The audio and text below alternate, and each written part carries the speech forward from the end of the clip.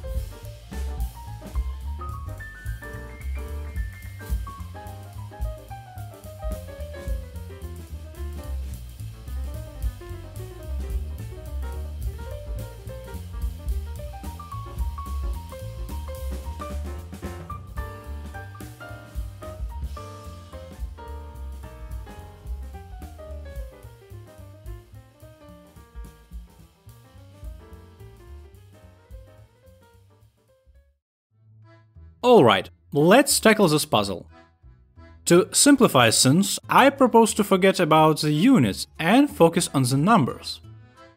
Let's say the width of the second rectangle is represented by the variable x.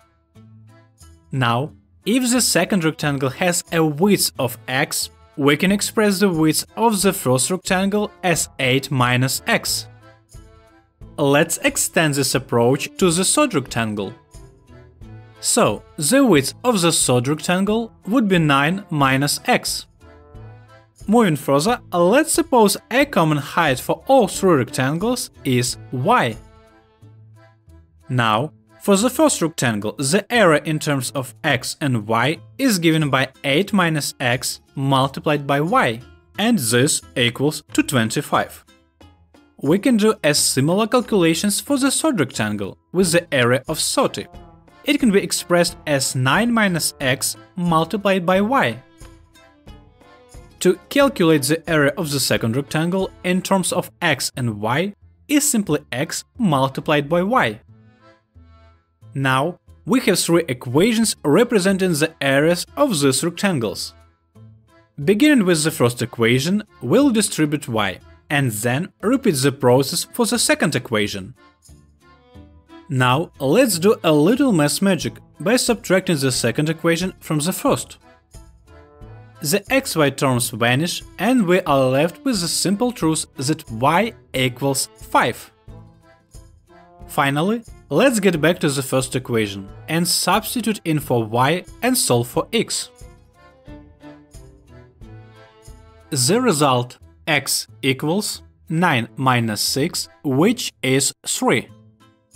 Putting the results together, we've got the area formula for the second rectangle, x multiplied by y.